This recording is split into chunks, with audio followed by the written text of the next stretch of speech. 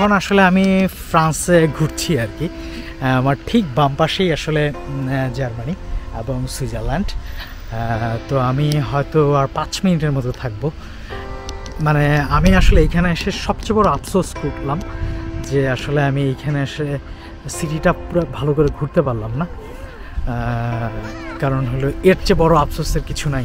একটা এত জার্নি করে আসছি। আমার আসলে স্কিডিউল নেই মানে আমি থাকতে পারতাম, কিন্তু থাক, কালকে আমার বড় একটা কাজ আছে সেই জন্য আসলে আমার থাকা যাবে না।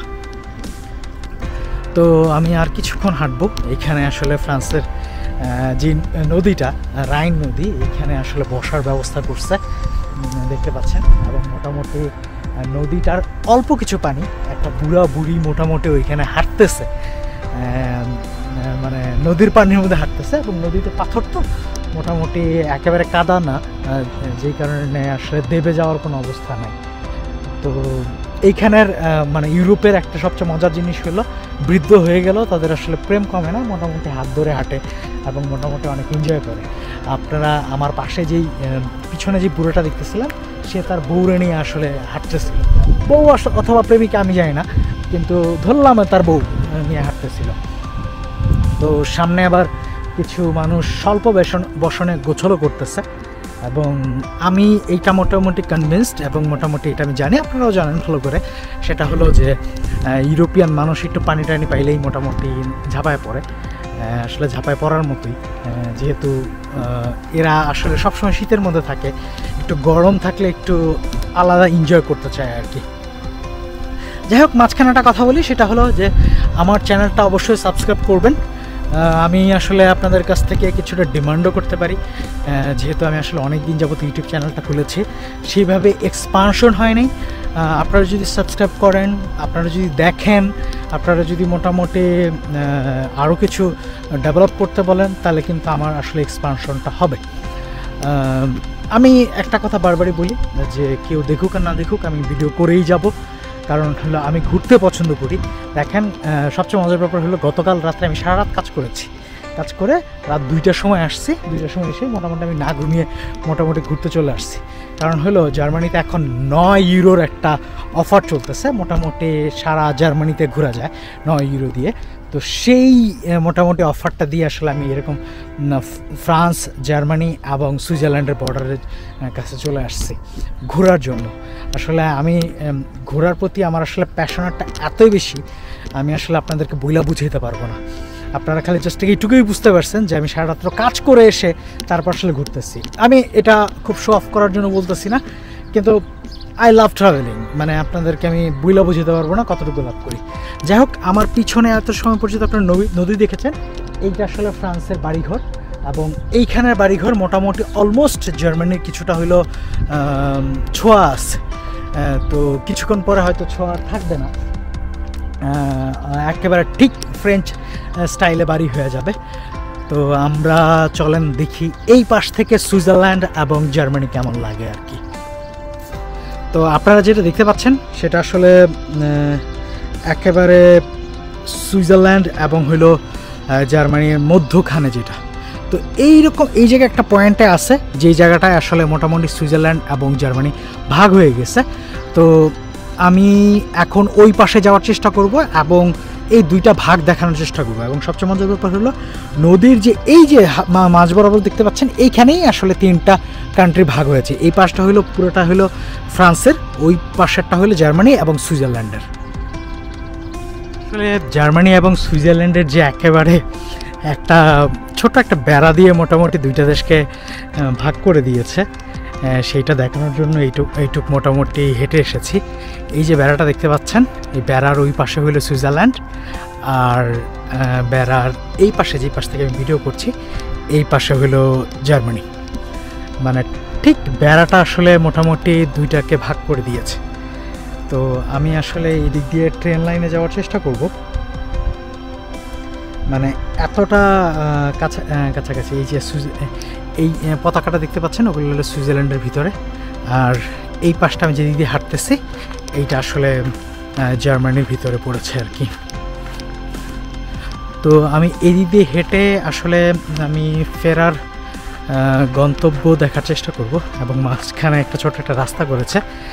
এক পাশে হলো জার্মানি, এই যে রাস্তাটা দেখতে পাচ্ছেন, এক পাশে জার্মানি, এক পাশে হলো সুইজারল্যান্ড। তা আমি জানি না এই দিক দিয়ে আসলে কতটুকু যেতে পারব। তো আসলে আমার মেইন চিন্তা আছে যে আমি আসলে বের হয়ে যাব। তো আমি আসলে এদিকে আর থাকব না কারণ হলো আমি আসলে এক্সিট পয়েন্টটা খোঁজার খোঁজার চেষ্টা করতেছি। ঠিক এই বেড়াটাই হলো সুইজারল্যান্ড এবং জার্মানির বর্ডার আর কি। তো ওরা কিছু কিছু জায়গা আসলে ওরা হয়তো এই জায়গাগুলো হলো পার্সোনালি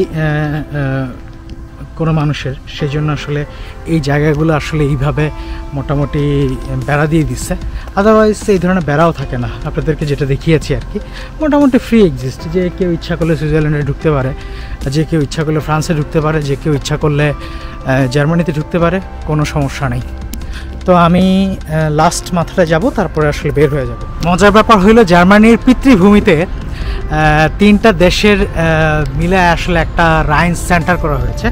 এটা আসলে তিনটা দেশের মিলন মেলা বলা চলে, এরকম একটা করা হয়েছে। কিন্তু আমি জানি না আসলে দুইটা দেশের কন্ট্রিবিউশন আছে কিনা, এটা কিন্তু জার্মানিতে।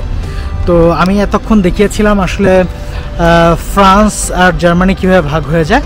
এখন আপনাদেরকে যেটা দেখাবো, সেটা হলো এই যে রাস্তাটা দেখতে পাচ্ছেন, এই রাস্তার খালি জাস্ট অল্প কিছুক্ষণ, দুই একটা স্টেপ দেওয়ার পরেই আসলে আমি সুইজারল্যান্ডে ঢুকে যাব, দুই একটা স্টেপের আগে আসলে আমি জার্মানিতে থাকব। আমি জাস্ট মানে ক্রস করতেছি আর কি, জার্মানি ক্রস করে সুইজারল্যান্ডের দিকে যাচ্ছি। তো আমি আসলে খুব বেশি দুঃখিত যে আসলে আমি সুইজারল্যান্ডের ভিতরে ঢুকে একটু হাঁটতে পারিনি। জানি না আমি আসলে কতটুকু হাঁটতে পারব, পাঁচ মিনিট হাঁটার চেষ্টা করব। তো এইখানে দেখেন, এই যে ইউরোপিয়ান ইউনিয়নের পতাকা এখানে আবার ইউরোপিয়ান ইউনিয়ন না, এরা মনে হয় স্যানজেন আওতাভুক্ত, কারণ হলো সুইজারল্যান্ড ইউরোপিয়ান ইউনিয়নের ভিতরে না। এটা হলো সুইজারল্যান্ডের পতাকা আর এটা হলো জার্মানির পতাকা। মোটামুটি একেবারে হান্ড্রেড পার্সেন্ট মানে এই যে আমি জাস্ট জার্মানি ক্রস করে আসলে সুইজারল্যান্ডের দিকে ঢুকে গেলাম। তো আমি কিছুটা পথ হাঁটবো, কিছুটা পথ আমার কাছে পাঁচ মিনিট সময় আছে, আর আমি চেষ্টা করব সুইজারল্যান্ড থেকে আসলে ওই যেই ট্রেনটা যে ট্রেনটা দিয়ে আসলে মোটামুটি আমি আমার গন্তব্যস্থলে পৌঁছাতে পারব আবার সেটা হলো যে আমার বাসায় যাওয়ার যেই ট্রেন স্টেশন সেই ট্রেন স্টেশনে ট্রেনটা উঠার চেষ্টা করব। তো আমি অলমোস্ট সুইজারল্যান্ড এখন বলতে পারেন একেবারে অফিসিয়ালি আমি সুইজারল্যান্ডের ভিতরে আছি। যদিও আসলে সুইজারল্যান্ডের বর্ডারে ঘোরা মানে সুইজারল্যান্ড ঘোরা না, এইটা আসলে সবাই বুঝে। আমি এখনও ফ্রান্স, বেলজিয়াম, নেদারল্যান্ড এই তিনটা দেশ বা সুইজারল্যান্ড আমি ঘুরতে এখনও মানে ভিতরে যে ঘুরিনি। বর্ডারে ঘুরছি। আমি বেলজিয়ামের বর্ডার একটা সিটিতে ঘুরছি। মোটামুটি ভি- অনেক ভিতরে গেছি। আর নেদারল্যান্ডের একটা সিটিতে ঘুরেছি। তারপর ফ্রান্সের একটা সিটিতে ঘুরেছি। আজকে যেমন সুইজারল্যান্ডের ভিতরে ঢুকতে পারতেছি না মানে জাস্ট অল্পটুকু ঢুকছে আর কি।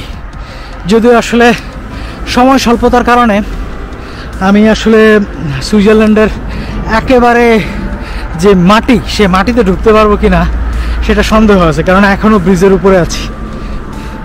নাও ঢুকতে পারি। কারণ হলো, অনেক বেশি ইচ্ছা করতেছে মোটামুটি থেকে যাওয়ার, কিন্তু কোনো অপশন নাই। থাকার অপশন থাকলে অবশ্যই থেকে যেতাম। এবং এইখানে সবচেয়ে মজার ব্যাপার হলো এই বর্ডার সিটিগুলোতে মোটামুটি এক দেশের মানুষ আরেক দেশে যায় জব করে এবং মোটামুটি সারাদিন জব করে সে তার দেশে ফিরে এসে ঘুমায় আর কি। এবং এইটা মোটামুটি এই দুইটা দেশের ভিতরে মোটামুটি একটা চুক্তি আছে। প্রত্যেকটা দেশের সাথে প্রত্যেকটা দেশের চুক্তি আছে। ইউরোপিয়ান ইউনিয়নের নিজস্ব একটা চুক্তি আছে। কিন্তু সুইজারল্যান্ড যেহেতু ইউরোপিয়ান ইউনিয়নের ভিতরে না, তারা সেনজেনভুক্ত তাদের একটা চুক্তি আছে যেন কীভাবে ওরা যেন এটাকে সেগ্রিগেট করে। এইটা আপনারা ইজিলি গুগল করতে গেলে ইজিলি বুঝে যাবেন।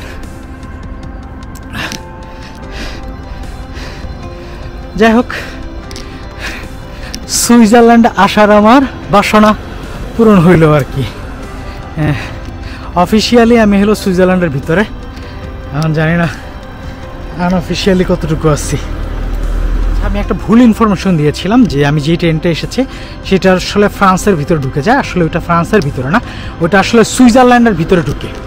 এবং যেই স্টেশনটা লাস্ট স্টপেজ সেটা হলো ব্যাসেল আমি আসলে প্রথমে, আমি আসলে ম্যাপ দেখে ম্যাপ দেখে বলছিলাম তো সো আমার ইয়াটা ঠিক ছিল না। তো আমি একটু আগে খেয়াল করলাম যে আমি আসলে ভুল বলেছিলাম।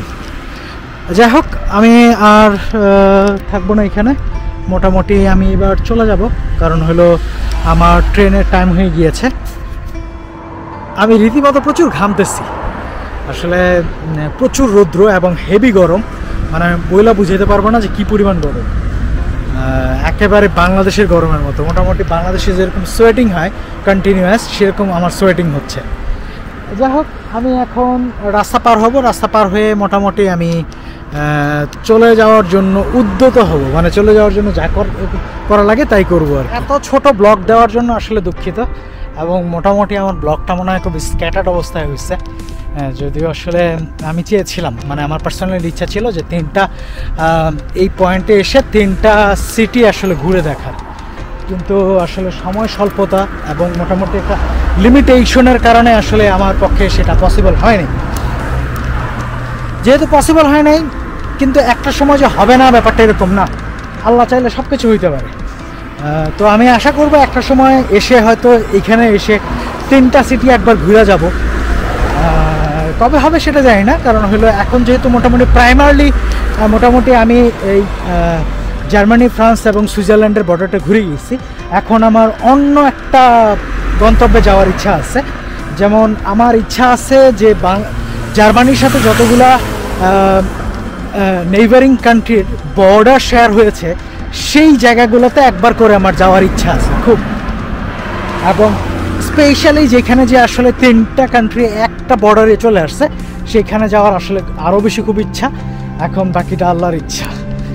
আমরা মোটামুটি সুইজারল্যান্ড থেকে আসলে জার্মানিতে ঢুকতেছে এবং জার্মানির একটা লোগো আপনারা যারা চিনেন, ওই যে আসলে ইগল পাখির একটা লোগো আছে। সেই লোগোটা এই যে দেখা যাচ্ছে, এখান থেকে আসলে জার্মানি শুরু হয়েছে। তো সুইজারল্যান্ড থেকে আমি এবার জার্মানিতে যাচ্ছি আর কি। এই যে এইখান থেকে ঠিক জার্মানি শুরু হয়ে গেল। তো আমি মোটামুটি জার্মানিতে আবার চলে আসলাম, সুইজারল্যান্ড থেকে। কথাটা আসলে অন্যরকম লাগতেছে, কিন্তু এটাই সত্য, প্রকৃত সত্য। কেউ আসলে আমার এই সত্যটা খণ্ডন করতে পারবে না। কারণ হইল লিগেলি আমি ঠিক।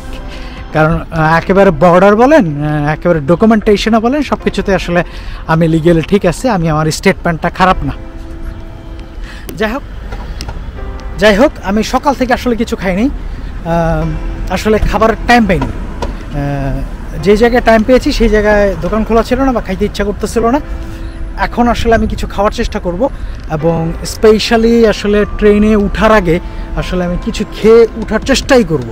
কারণ না হলে আমার অবস্থা আগামী সাত আট ঘন্টায় একেবারে খুব খারাপ ইউরোপে? হ্যাঁ, মোটামুটি টার্কিরা আছে বলেই এখনও মোটামুটি খেয়েটে মোটামুটি পোষানো যায়। কারণ আমি বেশিরভাগ সময় ঘুরতে গেলে ডোনার খাই।